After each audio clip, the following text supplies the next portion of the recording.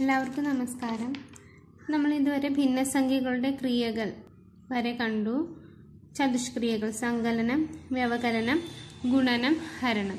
ഇനി ഭിന്നസംഖ്യകളുടെ ക്ലാസ്സുകളിലുള്ള അവതരണം. എങ്ങനെ നമുക്ക് ഭിന്നസംഖ്യകൾ ക്ലാസ്സുകളിൽ അവതരിപ്പിക്കാം എന്നുള്ളതാണ് പറയുന്നത്. പ്രധാനമായും പ്രൈമറി ക്ലാസ്സുകളിൽ എങ്ങനെ ഭിന്നസംഖ്യ അവതരിപ്പിക്കാം എന്നുള്ളത്.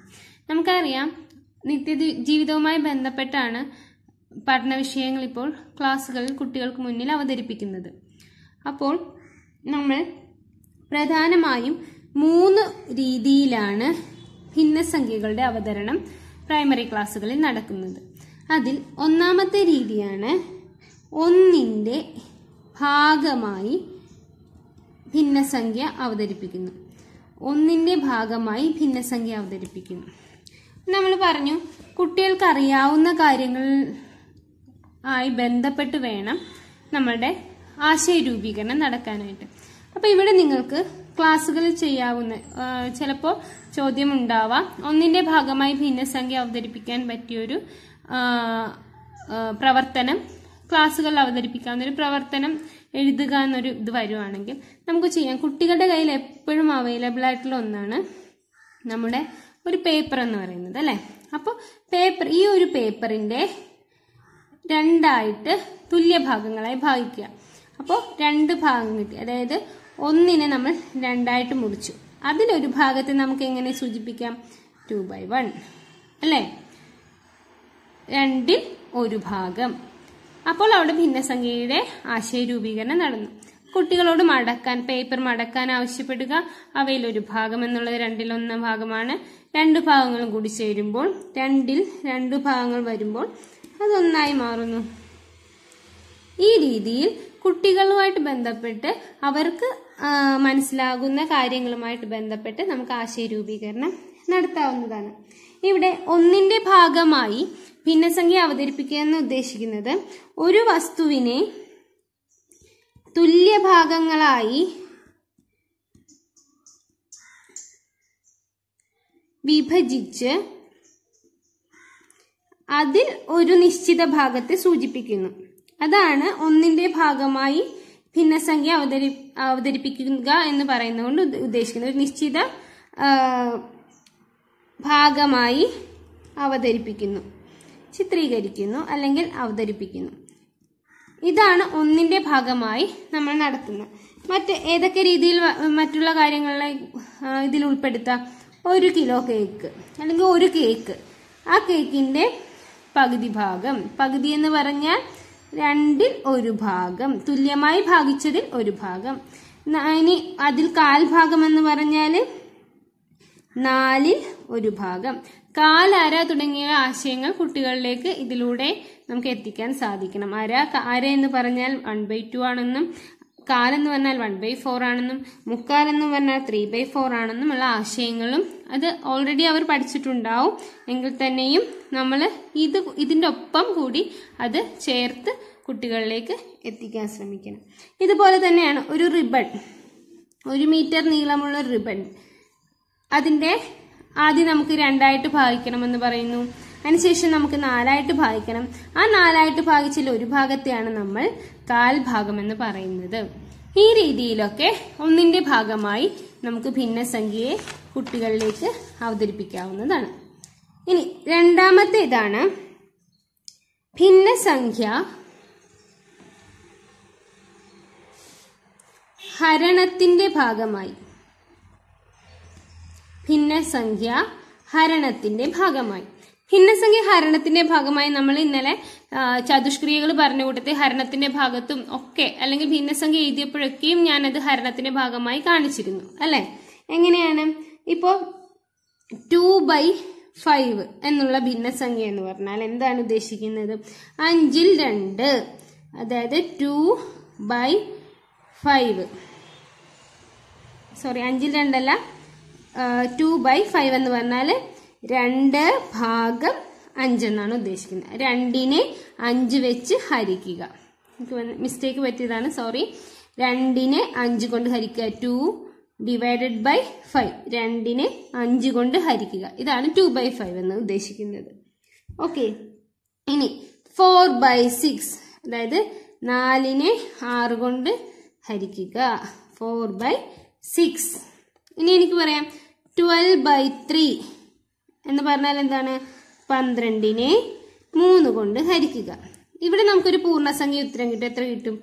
നാല് കിട്ടും. ഇവിടെയോ ദശാംശ സംഖ്യകളാണ് കിട്ടുക. അല്ലേ? ടു ബൈ ഫൈവ് എന്ന് പറഞ്ഞാൽ എന്ത് വരും നമുക്കറിയാം. ടൂയിൽ അടങ്ങില്ല. അപ്പോൾ പോയിന്റ് ഇടും. ട്വന്റി ഫോർ വരും. അല്ലേ? അതായത് ഇരുപതിൽ അഞ്ച് നാല് വട്ടം അടങ്ങും. അപ്പോൾ പോയിന്റ് ഫോർ ഇവിടെയോ? ഇവിടെ എത്ര വരും? നാലിലടങ്ങില്ല നാൽപ്പതിൽ ആറ് ആറ് മുപ്പത്തി ആറാണ് ശിഷ്ടം നാല് പോയിന്റ് സിക്സ് സിക്സ് സിക്സ് അങ്ങനെ പോകും. ഇത് ജസ്റ്റ് വാല്യൂ ഞാൻ എഴുതിയെന്നേ ഉള്ളൂ. ആവശ്യമില്ല. നമ്മളിവിടെ ഉദ്ദേശിക്കുന്ന ഇതേ ഉള്ളൂ. ഭിന്നസംഖ്യയെ എന്താണ്? ഹരണത്തിന്റെ ഭാഗമായിട്ടും നമ്മൾ ഭിന്നസംഖ്യയെ അവതരിപ്പിക്കുന്നു. ഇതും ഉദ്ദേശിക്കുന്ന എന്താന്ന് പറഞ്ഞാൽ ട്വൽവ് പന്ത്രണ്ടിനെ മൂന്ന് കൊണ്ട് ഡിവൈഡ് ചെയ്യുക. ക്ലിയർ ആണല്ലോ? ഇനി അടുത്ത മൂന്നാമത്തെ ഭാഗമാണ്. മൂന്നാമത്തെ രീതിയാണ്. ഇത് അതിനു മുമ്പൊരു കാര്യം. നമുക്ക് ഇപ്പൊ ചോദിക്കാം തുല്യമായി ഭാഗിക്കുക എന്ന് പറഞ്ഞാൽ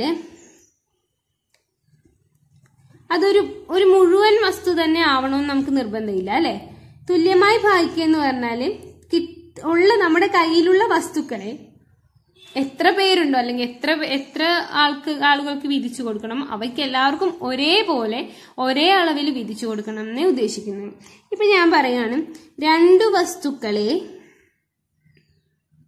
മൂന്ന് പേർക്ക് തുല്യമായി വീതിക്കാൻ സാധിക്കുമോ? വീതിക്കാൻ സാധിക്കുമോ? നോക്കാം നമുക്ക്. രണ്ട് വസ്തുക്കളെ മൂന്ന് പേർക്ക് തുല്യമായി വീതിക്കാൻ സാധിക്കുമെന്ന്. അതായത് രണ്ടിനെ മൂന്ന് പേർക്കായിട്ട് ഡിവൈഡ് ചെയ്യാൻ പറ്റുമെന്ന്. നോക്കാം നമുക്ക്. രണ്ട് ഡിവൈഡ് ബൈ മൂന്ന് വരും. എത്ര വരും? പോയിന്റ് അല്ലേ? രണ്ടിലടങ്ങിയില്ല? ഇരുപതിൽ എത്ര പ്രാവശ്യം അടങ്ങും? ആറ് മൂന്ന് പതിനെട്ട്. വീണ്ടും രണ്ട്. പിന്നെ എത്ര വരും? Point six six six six six അങ്ങനെ പോകും അല്ലേ? അപ്പൊ ഇത് നമുക്ക് രണ്ട് വസ്തുക്കളെ മൂന്ന് പേർക്ക് തുല്യമായി വീതിക്കാൻ ഇത്തിരി പാടാണ് ഒരാൾക്കെങ്കിലും ഒരു ഏറ്റക്കുറച്ചിലുകൾ വരുമെന്ന് നമുക്ക് പറയാം. ഇനി അതല്ല. നമ്മൾ നേരത്തെ പറഞ്ഞ പോലെ രണ്ട് വസ്തുക്കളെ അഞ്ചു പേർക്ക് തുല്യമായി വീതിക്കാൻ സാധിക്കുമോ?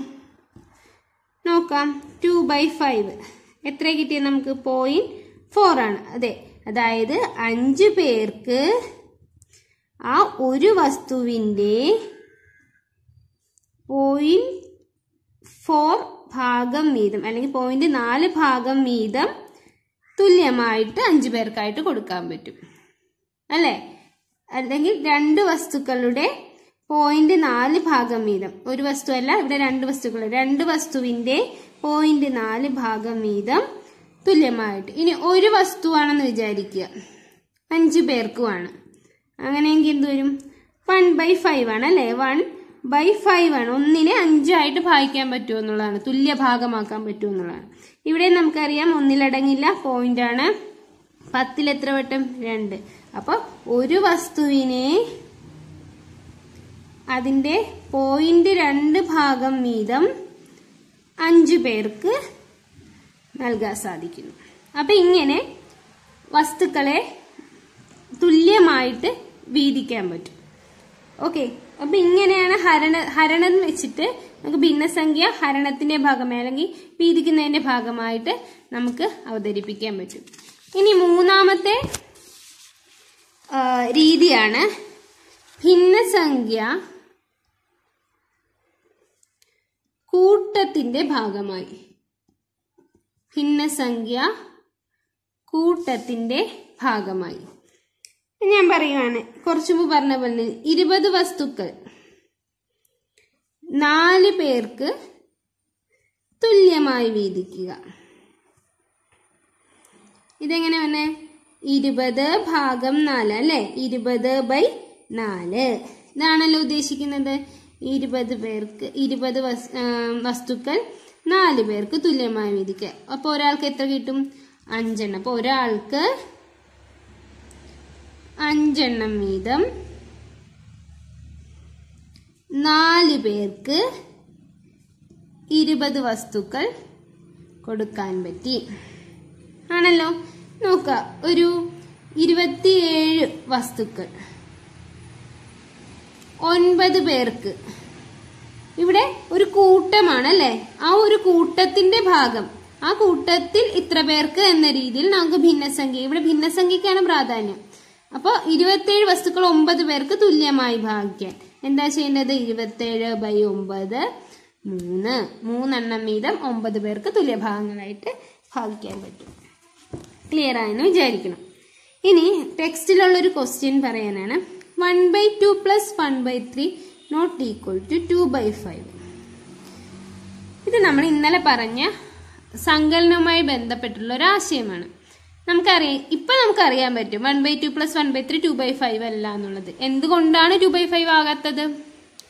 നമ്മൾ പറഞ്ഞിരുന്നു സങ്കലനം അതായത് ഭിന്നസംഖ്യയുടെ സങ്കലനത്തിൽ ഛേദങ്ങൾ തുല്യമായാൽ മാത്രമേ സങ്കലനം സാധ്യമാകും. സങ്കലനത്തിലാണെങ്കിലും വ്യവകലനത്തിലാണെങ്കിലും. ഛേദങ്ങൾ തുല്യമായാൽ മാത്രമേ നമുക്ക് അവിടെ സങ്കലനം വ്യവകലനം നടക്കൂ. ഇവിടെ ഛേദങ്ങൾ തുല്യമാണോ? അല്ല. എന്നാലും നമുക്ക് ഛേദങ്ങൾ തുല്യമാക്കണം. അപ്പൊ സങ്കലനം എന്ന ആശയം കിട്ടിക്കഴിഞ്ഞാൽ കിട്ടിക്കഴിഞ്ഞ ഒരു കുട്ടി ഇത് തെറ്റിക്കാൻ സാധ്യതയുണ്ട് അല്ലെ? One by two plus one by three എന്ന് പറഞ്ഞാൽ ടു ബൈ ഫൈവ് ഇപ്പൊ ചിലർ ഇത് one by two plus one by two എന്ന് പറയുന്നത് നേരെ ടു ബൈ ഫോർ എന്ന് എഴുതും. ഛേദങ്ങൾ തമ്മിൽ കൂട്ടി അംശങ്ങൾ തമ്മിൽ കൂട്ടി എഴുതാൻ സാധ്യതയുണ്ട്. സ്വാഭാവികമായിട്ട് സംഭവിക്കാവുന്ന. അപ്പൊ കുട്ടിയിലേക്ക് ആശയം നമ്മൾ എത്തിക്കാൻ ശ്രമിക്കണം. എന്തു എങ്ങനെയാണ് ആശയം എത്തിക്കേണ്ടത്? ഭിന്നസംഖ്യകളുടെ സങ്കലനത്തിൽ ഛേദങ്ങൾ തുല്യമായാൽ മാത്രമേ അവിടെ സങ്കലനം സാധ്യമാകൂ എന്നുള്ളത്. ഇത് നമുക്ക് നമുക്ക് പറഞ്ഞ് ചിലപ്പോൾ ഈ ആശയം കുട്ടിയിലേക്ക് എത്തിയില്ല എന്ന് വിചാരിക്കും. അപ്പോൾ നിങ്ങൾ ചെയ്യേണ്ടത് എന്താണെന്ന് അതിനാണ് ജെ ഫ്രാക്ഷൻ ലാബ് പോലുള്ള സോഫ്റ്റ്വെയറുകൾ നമ്മൾ ഉപയോഗിക്കുന്നത്. ജെ ഫ്രാക്ഷൻ ലാബ് എന്താണ്? ജെ ഫ്രാക്ഷൻ ലാബ് ഇതൊരു ആപ്ലിക്കേഷൻ ലെവൽ ക്വസ്റ്റ്യൻ വരാൻ ചാൻസ് ഉണ്ട്. ജെ ഫ്രാക്ഷൻ ലാബിന്റെ ഭിന്നങ്ങൾ രൂപീകരിക്കാനും ഭിന്നങ്ങൾ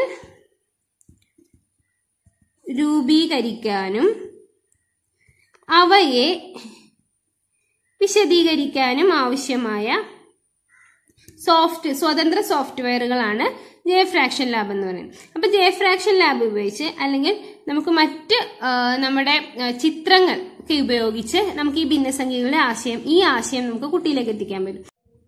അപ്പം ഇങ്ങനെയൊക്കെയാണ് നമുക്ക് ഭിന്നസംഖ്യകൾ എന്ന ഭാഗം കുട്ടികളിലേക്ക് എത്തിക്കാൻ സാധിക്കുന്നത്. പ്രത്യേകിച്ചും മൂന്ന് രീതിയിൽ ഇനി അടുത്തത് ദശാംശ സംഖ്യകളാണ്. ദശാംശ സംഖ്യകളുടെ പ്രോബ്ലവും അതിന്റെ വിശദീകരണവും അടുത്ത വീഡിയോയിൽ. താങ്ക്